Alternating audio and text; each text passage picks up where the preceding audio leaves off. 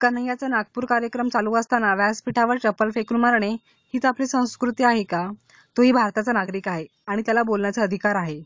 Doctor Babasaheb आंबेडकरांनी हा अधिकार राज्यघटनेतच दिला आहे. माझे हे विचार कुणाला पटत नसतील तर त्यांनी विचारांची लढावी विचारांनीच लढावी असे सांगत अजित पवारांनी बजरंग दलाबरोबरच महाराष्ट्राच्या मुख्यमंत्र्यांनाही भारत माता की जय म्हणत बसण्यापेक्षा महत्त्वाच्या प्रश्नांवर लक्ष द्यावे असा टोला लगावला आहे. पिंपरी चिंचवड महापालिकेने डॉक्टर बाबासाहेब आंबेडकर यांच्या जयंतीनिमित्त पिंपरी येथे आयोजन केलेल्या कार्यक्रमाचे कार्यक्रमात ते बोलत होते. यावेळी पिंपरी चिंचवडच्या महापौर शकुंतला दराडे उपमहापौर प्रभाकर वाघेरे महापालिका आयुक्त राजीव जाधव स्थायी समिती अध्यक्ष हिरानंद असवाणी योगेश बहल नगरसेविका शमीम पठाण आदी उपस्थित होते. या कार्यक्रमात अजित पवार यांच्या हस्ते महापालिकेतर्फे तीन चाकी रिक्षांना सीएनजी किटचे अनुदान दिले गेले. तसेच महात्मा फुले आणि डॉक्टर बाबासाहेब आंबेडकर यांच्या जयंतीनिमित्त पिंपरी महापालिकेतर्फे आयोजित विविध स्पर्धांमधील विजेत्यांनाही बक्षिसांचे वितरण करण्यात आले. आता कन्हैया एक तरुण विद्यार्थी काल नागपूरला गेला त्याला कुठेही चप्पल मारण्याचा प्रयत्न केला ही शिकवण तुम्हाला मला आपल्या आई वडिलांनी दिली. ही शिकवण आपल्या महान मानवांनी आपल्याला दिली. जर उद्याच्याला कुणाला अजित पवारांचे विचार पटत नसतील तर विचारांची लढाई विचारांनी करा. तुम्ही दुसऱ्या व्यासपीठावर जाऊन तुमचे विचार मांडा.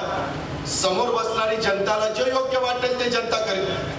डॉक्टर बाबासाहेब आंबेडकरांनी घटनेच्या माध्यमातून तुम्हाला मला जो मताचा अधिकार दिलेला आहे तो टाटा असतील बिर्ला असतील अडाणी असतील अंबानी असतील त्यांनाही एकच मत आणि माझ्या झोपडपट्टीमध्ये राहत असणाऱ्या गरीबातल्या गरीब माणसाला देखील एकच मत एवढी जबरदस्त लोकशाही जगामध्ये कुठं दुसरीकडे पाहायला मिळत नाही.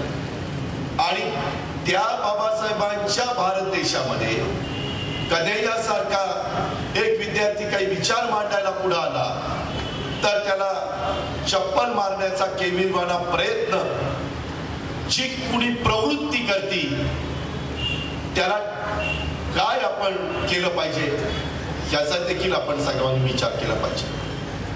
फर्ग्युसन कॉलेजमध्ये काय घटना घडली? पुण्यामध्ये पण कधी येणार जरूर प्रत्येकाने वेगवेगळ्या भागामध्ये जावं. संपूर्ण भारत देश आपला काही काही जण भारत माता की जय कोण भारत माता की जय म्हणत नाही?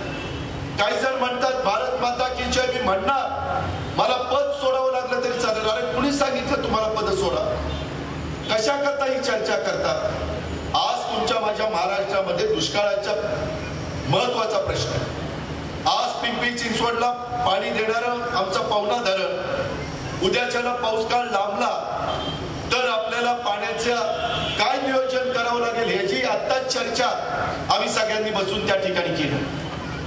लातूर सारख्या कुठंतरी रेल्वेने पाणी आणण्याची वेळ कुठल्याच शहरावर कुठल्याच गावावर कुठल्याच येता कामा नये.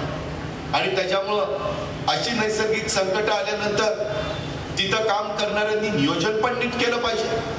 तो विचार आपण करतोय. आपण त्रास व्हायला नको. उन्हाळ्याच्या सुट्ट्या लागल्या.